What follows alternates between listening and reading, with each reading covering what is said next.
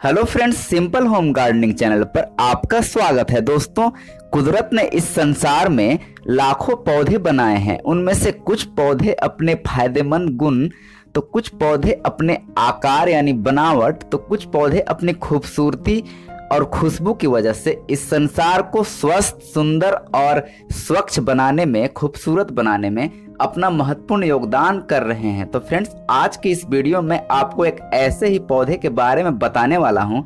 तो दोस्तों, अभी तक आपने मेरे YouTube channel simple home gardening को अगर सब्सक्राइब नहीं किया है तो सब्सक्राइब करके बेल आइकन ज़रूर दबाएँ ऐसे ही यूजफुल वीडियो के लिए।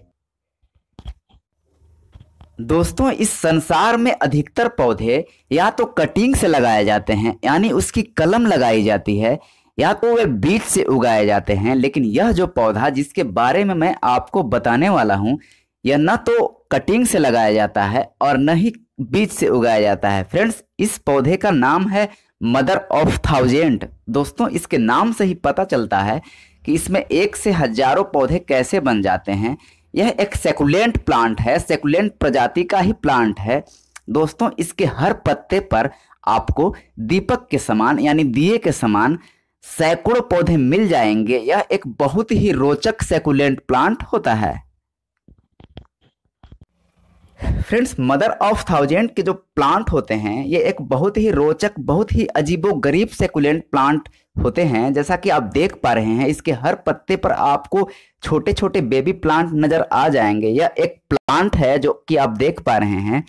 फ्रेंड्स इसकी अगर केयर की बात की जाए तो सबसे बड़ी इसकी बात यह है कि ये बहुत ही कम केयर वाला प्लांट होता है। इसकी केयर आप नहीं भी करेंगे तो ये अच्छे से सर्वाइव करता जाएगा, क्योंकि ये एक सेकुलेंट फैमिली का प्लांट है। फ्रेंड्स सेकुलेंट फैमिली के जो भी पौधे होते हैं, उन्हें कम पानी की ज़रूरत होती है।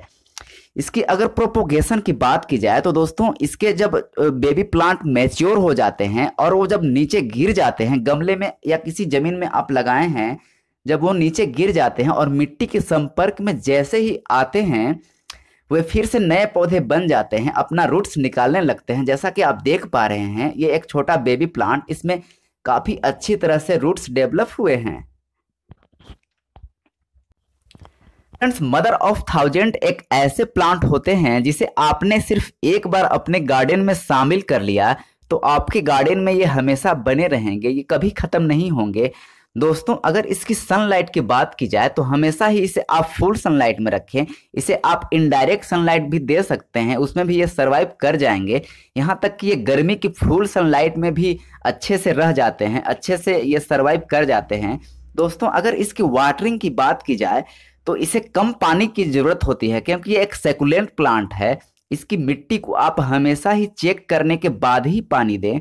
कभी भी अपने इस प्लांट में ज़्यादा पानी ना दें। ऊपर की मिट्टी आपको लगभग एक से डेढ़ इंच अगर सूखी लगे तो उसे चेक करने के बाद ही आप इसे अच्छी तरह से वाटरिंग करें। इस पौधे को आप इनडायरेक्ट सनलाइट में भी रख सकते हैं, उससे भी ये अच्छी तरह से सर्वाइव कर जाते हैं।